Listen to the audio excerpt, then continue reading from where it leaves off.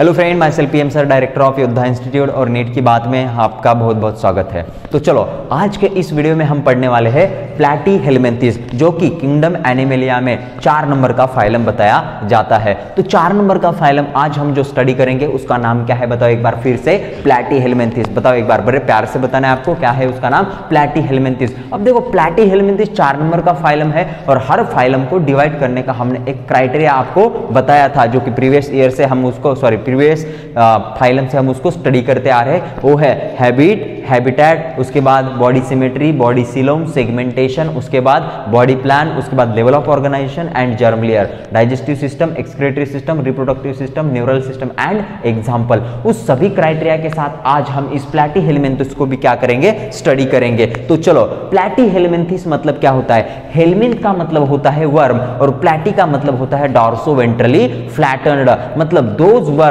they are dorso ventrally flattened उन सभी worm को हम कहाँ पे क्लासिफाई करते हैं? प्लेटी हेलमेंथिस के अंदर। कहाँ पे क्लासिफाई करेंगे बताओ एक बार? प्लेटी हेलमेंथिस के अंदर। चलो तो प्लेटी हेलमेंथिस को यहाँ पे स्टडी करेंगे। अगले 25 से 30 मिनट के अंदर पूरा प्लेटी हेलमेंथिस आपके फिंगर टिप पे रहेगा।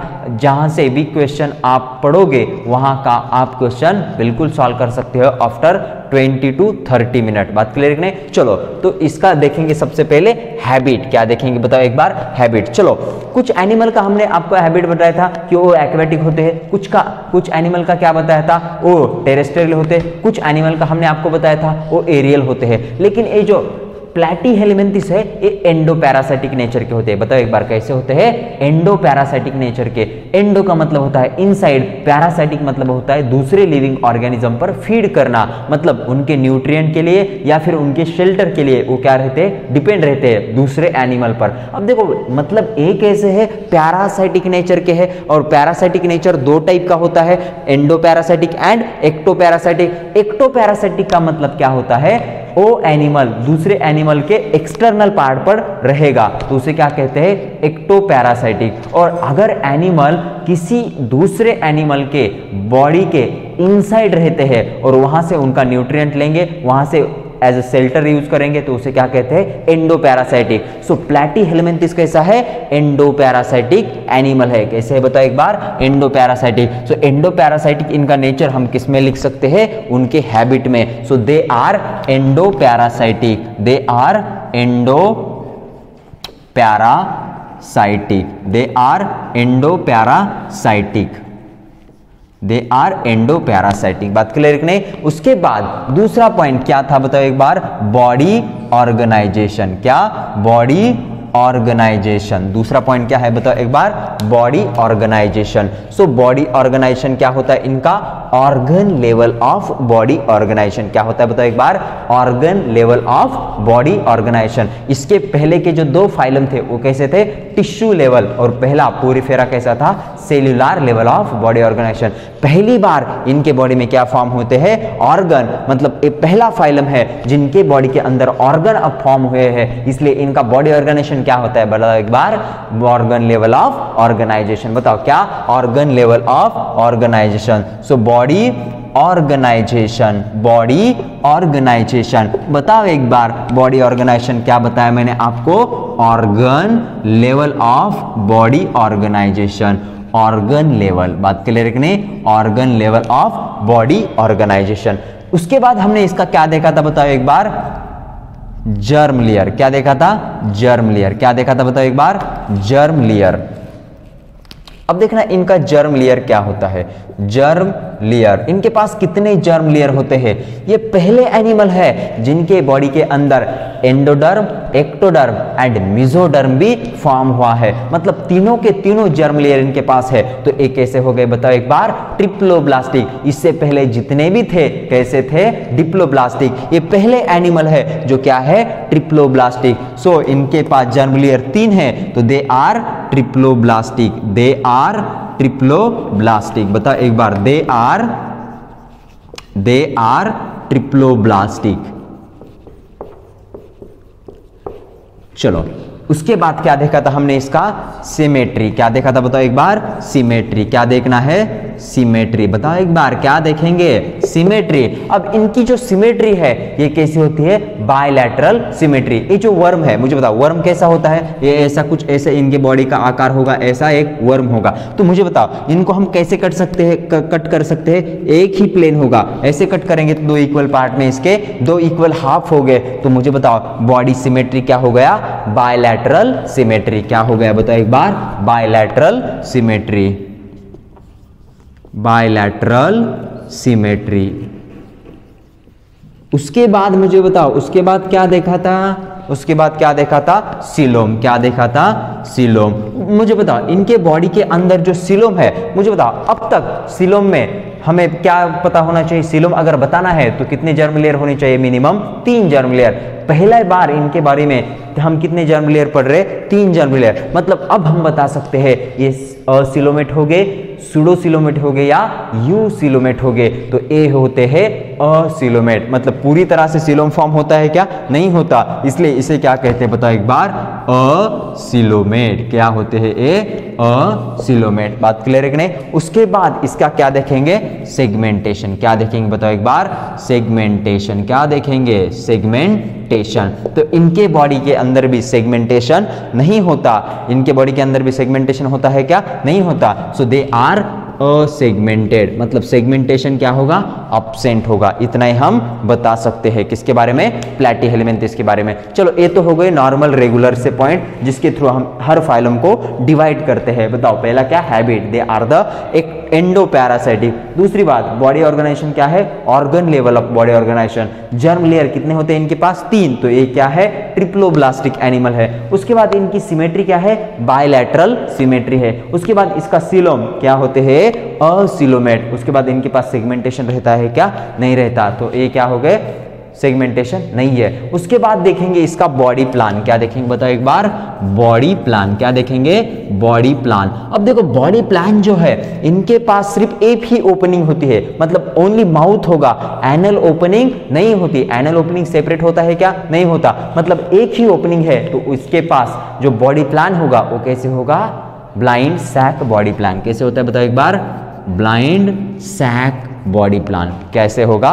Blind sac body plan so ये होगा इसका नॉर्मल क्राइटेरिया जिसके थ्रू हम प्लेटी हेलमेंथिस को क्या कर रहे हैं? वहाँ पे डिवाइड कर रहे हैं. उसके बाद दूसरा क्राइटेरिया क्या है? इसके अंदर ही दूसरा क्राइटेरिया क्या? डाइजेस्टिव सिस्टम या फिर reproductive system excretory system so I can raise this okay इसके बाद हम पढ़ेंगे डाइजेस्टिव सिस्टम वाला चलो बेटा, उसके बाद पढ़ते हैं इसका digestive system excretory system neural system and reproductive system so first I will start with digestive system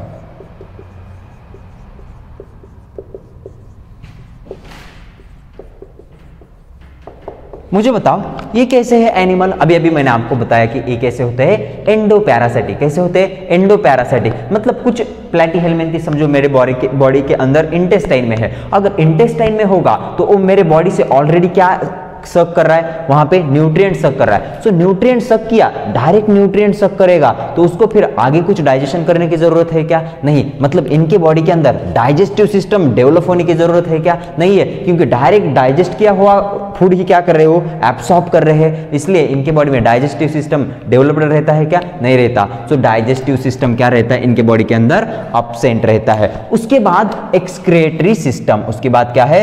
excretory system excretory system अब मुझे बताओ, इनके बॉडी के अंदर ऑर्गन तो फॉर्म हुए हैं? मतलब अब सिस्टम फॉर्म हो सकता है। तो इनके बॉडी के अंदर जो भी सिस्टम फॉर्म हुआ है एक्सक्रिएटरी सिस्टम होगा सिस्टम तो इतनी अच्छी तरह से नहीं डेवलप हुआ होगा, लेकिन वहाँ पे कुछ स्ट्रक्चर होता है। तो इनके बॉडी के अंदर एक्सक्रिएशन एंड ऑस्मो रेगुलेशन के लिए क्या होते हैं? फ्लेम सेल क्या होते हैं? बताओ एक बार, फ्लेम सेल। वन सेकेंड बताओ क्या होते हैं? Flame cell okay so excretion and osmo regulation regulated by flame cell क्या बताओ एक बार? फ्लेम सेल क्या? फ्लेम सेल अब ये जो फ्लेम सेल होते हैं, इससे क्या होता है? इनका ऑस्मो रेगुलेशन हो जाता है। इनके बॉडी के अंदर जो फ्लेम सेल हो गए उससे क्या होता है? इसका osmo regulation okay flame cell अब ये जो फ्लेम सेल है, इसे फ्लेम सेल नाम क्यों दिया गया है? इधर ध्यान दो। जो इनके बॉडी के अंदर जो सेल है, उसको जो उसका जो स्ट्रक्चर है, वो ऐसा होता है। ये ऐसा होगा। और ये जो मुझे बताओ ये जो आकार है, ये किसके जैसा है? फ्लेम जैसा। ये किसके जैसा है? बताओ एक बार। फ्लेम जैसा। समझो, आपके पास कोई कैंडल है, उसको हमने बर्न किया तो उसके ऊपर जो फ्लेम दिखाई देता है, वो ऐसे ही होता है। तो ये जो उनके अंदर जो एक्सक्रेटरी स्ट्रक्चर है एक्सक्रेशन करने वाले जो सेल है, उसका आकार कुछ ऐसे होगा, फ्लेम के जैसा। इसलिए उसको नाम क्या दिया गया है, बताओ एक बार, फ्लेम सेल क्या नाम दिया है, बताओ एक बार, flame cell so excretion and osmo regulation के लिए जो स्ट्रक्चर रिस्पॉन्सिबल है, वो क्या है? फ्लेम सेल तो ये इसका एक नोट पॉइंट बनेगा या फिर फीचर पॉइंट बनेगा। मतलब फ्लेम सेल बाकी दूसरे कोई फ़ाइल में आपको देखने को मिलते हैं क्या? नहीं देखने को मिलेंगे। उसके बाद हम देखेंगे इसका न्यूरल सिस्टम। क्या देखेंगे? बताओ एक बार। Neural system. Neural system. बताओ। सिस्टम तो उतना ज़्यादा डेवलप नहीं हुआ होगा, लेकिन इनके बॉडी के अंदर यहाँ पे न्यूरल सिस्टम कुछ ना कुछ तो डेवलप हुआ होगा। सो इनके बॉडी के अंदर जो न्यूरल सिस्टम है, वो कैसे होता है? प्रीमिटिव टाइप का न्यूरल सिस्टम होता है। कैसे होता है? बताओ एक बार। प्रीमिटिव टाइप का। मतलब उनके बॉडी के अंदर यहाँ पे सबसे पहले सिफिलाइजेशन दिखाई देता है। क्या होता है सेफेलाइजेशन। मैं आपको इसके फीचर पॉइंट में दिखाई दूँगा। सेफेलाइजेशन मतलब क्या? बॉडी से ब्रेन अलग तरह से आइडेंटिफाई होना। मुझे बता पोरीफेरा या फिर हमने टीनोफोरा देखा था। टीनोफोरा में आप बता सकते हो क्या? ये इसका बॉडी पार्ट है, ये इसका हेड है। ऐसे बता सकते थे क्या? नहीं। हेड मतलब क्या? सिफेलम तो इसके बारे में आइडेंटिफिकेशन की आइडिया नहीं आती थी। लेकिन प्लेटी हेलमेंथिस में सबसे पहले ये ब्रेन का पार्ट थोड़ा अलग दिखाई देता है और बॉडी का पार्ट अलग दिखाई देता है। मतलब हम उसका हेड अच्छी तरह से आइडेंटिफाई कर सकते हैं। मतलब उसका सिफेलम आइडेंटिफाई कर सकते हैं। तो उसी को क्या कहते हैं? सिफिलाइजेशन सो फ़र्स्ट टाइम ये जो प्लेटी हेलमेंथिस है, इनके बॉडी के अंदर क्या दिखाई दिया था? सिफिलाइजेशन का कंसेप्ट हम पहली बार ऑब्ज़र्व कर सकते हैं। तो सिफिलाइजेशन होगा तो इनके बॉडी के अंदर क्या होते? टू टू थ्री गैंग्लिया मतलब उसके सिफेलम में, हेड रीजन में क्या हो गए टू टू थ्री गैंग्लिया होते हैं और प्रीमिटिव नर्व सिस्टम होता है। कैसा नर्व सिस्टम होता है बताओ एक बार? Primitive type of nerve system. बताओ एक बार कैसा? प्रीमिटिव टाइप इनका जो न्यूरल सिस्टम होगा, वो कैसा होगा बताओ एक बार? प्रीमेटिव टाइप उसके बाद देखेंगे इनका रिप्रोडक्शन क्या देखेंगे बताओ एक बार? Reproduction are you getting or not reproduction चलो, सबका फेवरेट पोर्शन सबका फेवरेट टॉपिक रिप्रोडक्शन तो ये रिप्रोड्यूस कैसे करेंगे? देखना, ये जो प्लेटी हेलमेंथिस है प्लेटी हेलमेंथिस के एक ही बॉडी में दोनों सेक्स ऑर्गन होते हैं। मतलब male and female sex organ present within a same body एक ही बॉडी में है। मतलब ये क्या है? बाइसेक्सुअल बात क्लियर नहीं?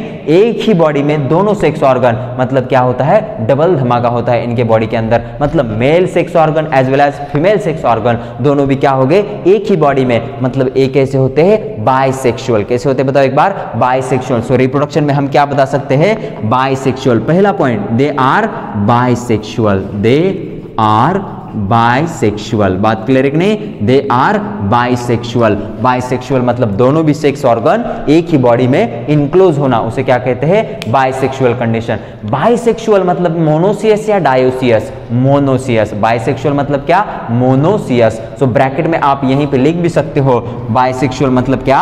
मोनोसियस मोनोसियस बात क्लियर है कि बाइसेक्सुअल मतलब क्या होते हैं? मोनोसियस सो so, दोनों भी सेक्स ऑर्गन एक ही बॉडी में प्रेजेंट है, इसलिए हमने इसको क्या कह दिया? दे आर बाइसेक्सुअल अब देखना उनका क्या देखेंगे? फर्टिलाइजेशन मतलब रिप्रोडक्शन कैसा है उनका? सेक्सुअल टाइप कैसा है बताओ एक बार? सेक्सुअल टाइप सो उनका देखेंगे फर्टिलाइजेशन दूसरा पॉइंट क्या? फर्टिलाइजेशन अब देखना फर्टिलाइजेशन ये रिप्रोडक्टिव सिस्टम में मतलब सेक्सुअल रिप्रोडक्शन में कौन सा स्टेप होता है? सेकंड स्टेप अगर रिप्रोडक्शन सेक्सुअल हो तो पहला स्टेप क्या होगा? गैमेट फॉर्मेशन मतलब पहले तो गैमेट फॉर्म हो गए, फिर गैमेट क्या होंगे? फ्यूज हो गए। तो गैमेट फ्यूज होने के प्रोसेस को ही क्या कहते हैं बताओ? फर्टिलाइजेशन सो फर्टिलाइजेशन हमने आपको बताया था। दो टाइप का होता है। एक्सटर्नल फर्टिलाइजेशन या फिर इंटरनल फर्टिलाइजेशन अब मुझे बताओ, यहाँ पे दोनों भी सेक्स ऑर्गन कैसे है? बॉडी के इनसाइड है। तो मुझे बताओ, गैमेट को बाहर जाने की ज़रूरत है क्या? नहीं। फ्यूज होने के लिए बाहर जाने की ज़रूरत है क्या? नहीं। तो फर्टिलाइजेशन बॉडी के अंदर ही हो सकता है। इसलिए इनके पास फर्टिलाइजेशन क्या होगा? इनका फर्टिलाइजेशन कैसे होगा? इंटरनल, कैसा होता है बताओ एक बार, इंटरनल, कैसा होता है बताओ एक बार,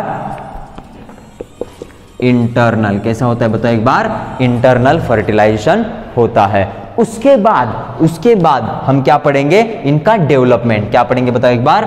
डेवलपमेंट। मुझे बताओ, डेवलपमेंट भी कितने टाइप का होता है? दो टाइप का होता है। डेवलपमेंट भी कितने टाइप का होता है? दो टाइप का। Direct development and indirect development. अगर उनके लाइफ साइकिल में लार्वल स्टेज नहीं आता है तो उसे क्या कहेंगे हम? डायरेक्ट डेवलपमेंट और अगर लार्वल स्टेज आता है तो उसे क्या कहेंगे? इनडायरेक्ट डेवलपमेंट सो इनके बॉडी के अंदर ही, इनके लाइफ साइकिल के अंदर ही क्या आता है? लार्वल स्टेज सो इनका डेवलपमेंट कैसे बताएँगे हम? इनडायरेक्ट डेवलपमेंट तो बताओ डेवलपमेंट कैसे होता है? इनडायरेक्ट डेवलपमेंट कैसे होता है? Indirect development. बात क्लियर रखने इनडायरेक्ट डेवलपमेंट सो ए हो गया इनका digestive system excretory system reproductive system and neural system so this is the information about the system बात क्लियर रखने, उसके बाद अब हम इसके क्या देखेंगे? फीचर पॉइंट क्या देखेंगे? बताओ एक बार बेटा। फीचर पॉइंट देखेंगे। और याद रखना, हमेशा हर फाइलम में एग्जामिनर की कोशिश क्या रहती है? फीचर पॉइंट से ही उसके क्वेश्चन बनाना। तो इसके अंदर जो फीचर पॉइंट है, ये बहुत ही इंपॉर्टेंट फीचर पॉइंट है एक्सक्रेटरी सिस्टम वाला फ्लेम सेल वाला। क्योंकि एग्जामिनर का प्लेटी हेलमेंथिस से अगर कोई क्वेश्चन बनाने का मूड किया तो वो इसके ऊपर बहुत ज़्यादा फोकस करता है फ्लेम सेल के। क्योंकि प्लेटी हेलमेंथिस छोड़ के बाकी किसी भी फाइलम में फ्लेम सेल का रेफरेंस नहीं आता। इसलिए वो हमेशा इसके ऊपर ज़्यादा फोकस करता है। तो ये भी आपको पॉइंट ज़्यादा यहाँ पे आपके दिमाग में स्टोर करके रखना है कि एक्सक्रिएटरी सिस्टम में क्या होता है? Excretion and osmo regulation regulated by the flame cell in case of platy helminthes are you getting or not yes or no so I will start feature point okay तो चलो, मैं आप feature point बताना start करता हूँ। चलो बेटा last में देखेंगे हम इसके नोट पॉइंट जो कि हम इसके फीचर पॉइंट भी बता सकते हैं। अब देखो इसके फीचर पॉइंट में हम पहला पॉइंट क्या बता सकते हैं कि इनके बॉडी के अंदर का जो एक्सक्रिएशन एंड ऑस्मो रेगुलेशन जो होता है वो किससे होता है? फ्लेम सेल से। सो so, पहला पॉइंट हम लिख सकते हैं यहाँ पे फ्लेम सेल के बारे में। So excretion and osmoregulation osmoregulation occurred by occurred by बताओ एक बार, क्या फ्लेम सेल क्या बताओ एक बार? फ्लेम सेल और फ्लेम सेल का और एक नाम दिया गया है प्रोटोनेफ्रिडिया बताओ एक बार क्या? Protonephridia. क्या बताओ एक बार? प्रोटो प्रोटोनेफ्रेडिया उसके बाद इसका दूसरा फीचर पॉइंट है, देखो ए क्या है? एंडोपैरासाइटिक क्या है बताओ एक बार? एंडोपैरासाइटिक एंडोपैरासाइटिक है तो ए क्या करेंगे? न्यूट्रिएंट सक करेंगे। क्या करेंगे बताओ एक बार? सक करेंगे। तो इनके बॉडी के अंदर सकर भी होता है और हुक भी होता है। क्या होते हैं बताओ एक बार? इनके बॉडी के अंदर सकर होते हैं। अब मैं आप जब यहाँ पे स्टिकर के ऊपर, जब मैं आपको लीवर फ्लग का डायग्राम बताऊँगा तो आप देख सकते हो हुक जो होता है, वो एंटेरियर पार्ट में होगा और सकर जो होता है उनके बॉडी के अंदर वेंट्रल सकर होता है। मतलब ये समझो लिवर फ्लक है ए लिवर फ्लक में उसका माउथ का रीजन मतलब क्या होगा? हुक मतलब किसी से अगर उसको न्यूट्रिएंट एब्सॉर्ब करना है तो किसका यूज़ करेगा? हुक का। अब अगर प्लेटी हेलिमेंथिस को समझो, अब न्यूट्रिएंट मैं ऐसे ऊपर से सक नहीं कर सकता। इधर न्यूट्रिएंट है बॉडी के अंदर, इधर न्यूट्रिएंट है। उस उसके होस्ट के अंदर। तो वो क्या करना चाहेगा? अब इधर से तो वो ऐसा सक नहीं कर सकता। तो क्या करेगा? वेंट्रल साइड का जो सकर है, उससे क्या करेगा वो? उस न्यूट्रिएंट को सक करेगा। सो इनके बॉडी के अंदर क्या होते हैं बताओ एक बार, इनके बॉडी के पास हुक भी होता है एंड सकर भी होता है। किसके लिए? For the absorption of nutrient so they have they have hooks and sucker hooks and suckers for absorption of for absorption of nutrient for absorption of nutrients for the absorption of nutrients समझो उसे, उसके host body से nutrient absorb करना है तो उनके पास दो structure होते हैं। कौन सा कौन सा बताओ एक बार? हुक एंड दूसरा कौन सा होता है? Sucker so hook and sucker दोनों प्रेजेंट होना, ये बस किसी का कैरेक्टरिस्टिक्स फीचर है तो वो प्लेटी हेलमेंथिस का कैरेक्टरिस्टिक्स फीचर है। तो लास्ट में, चलो अब हम इसके क्या देखेंगे? एग्जाम्पल्स ओके चलो लास्ट में हम अब इसके एग्ज़ाम्पल स्टडी करेंगे। तो लास्ट में एग्ज़ाम्पल मैं आपको जो है, मैं यहाँ पे स्टिकर पे बता दूँगा, जो कि हर फाइलम में मैंने आपको स्टिकर में यहाँ पे बताने की कोशिश की है, क्योंकि स्टिकर में बताने के बाद visual as well as audio आपका दोनों तरह से बेनिफिट होगा। मतलब विजुअल देखेंगे तो आप पता कर सकते हो कि हाँ इसे यहाँ पे हुक कहते हैं, इसे यहाँ पे सकर कहते हैं ओके चलो तो फिर से एक बार मैं आपको बताने जा रहा हूँ इसके एग्ज़ाम्पल सो इसके एग्ज़ाम्पल में पहला जो एग्ज़ाम्पल है जो मैं आपके सामने ला रहा हूँ, जरा गौर से देखो, ध्यान से देखो, बस ये आपके लिए है। तो पहला जो एग्ज़ाम्पल है, देखो, ये एग्ज़ाम्पल लाया और आपके सामने आएगा, ये होता है टेनिया। ये जो एग्ज़ाम्पल आपको दिखाई दिया है, इसका नाम क्या है? टेनिया। टेनिया का दूसरा एक नाम है टैप वर्म क्या नाम है, बताओ एक बार? टैप वर्म सो टेनिया का दूसरा एक नाम है टैप वर्म बताओ बताओ इसे टैप वर्म क्यों कहा जाता है? देखो, इसका आकार जो है, इसका जो बॉडी का शेप है, ये हमें टेप की जैसा दिखाई दे रहा है। इसलिए इसका नाम क्या है? टेनिया, या फिर क्या है? टैप वर्म चलो टैप वर्म को थोड़ा हटाते हैं। अब ये देखो, दूसरा जो एग्ज़ाम्पल आ रहा है आपके पास, ये आ रहा है फैसियोला। ये जो एग्ज़ाम्पल है, ये क्या है? फैसियोला। फैसियोला का दूसरा और एक नाम है लिवर फ्लक क्या है? बताओ एक बार। Liver fluke are you getting or not yes or no क्या है उसका? बताओ एक बार। नाम लीवर फ्लक, यल का भी उच्चार करो। Are you getting or not हाँ बड़े नॉटी नहीं बनना। तो मुझे बताओ, ये है लीवर फ्लक अब लीवर फ्लक का देखो एंटेरियर पार्ट है, वो क्या है? वो है हुक्स और उसके वेंट्रल पार्ट पर क्या है? सकर है। तो ए हुक एंड सकर से क्या करेगा न्यूट्रिएंट को?